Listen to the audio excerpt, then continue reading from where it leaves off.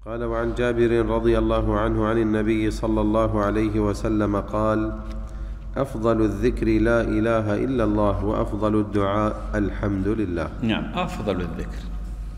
إذا سئلت أو سألت ما أفضل الذكر فهو لا إله إلا الله. لا إله إلا الله أفضل الذكر. يقول النبي عليه الصلاة والسلام خير ما قلت أنا والنبيون قبلي لا إله إلا الله وحده لا شريك له.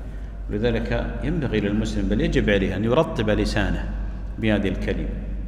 يجعل لسانه مرطب بهذه الكلمة دائما يذكره في الليل والنهار وفي السر وال- والجهار في الخلوة والجلوة في كل حال قبل أن يحال بينه وبين هذه الكلمة. ومن أدمن هذه الكلمة ورطب لسانه بها نفعته في في في في حياته وعند وفاته.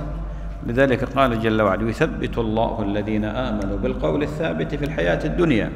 قال أهل العلم عند الوفاة عند الاحتضار تسهل عليه هذه الكلمة. أما الشخص الذي لا يقول هذه و- ولسانه يابس مع هذه الكلمة قد يعسر عليه الأمر.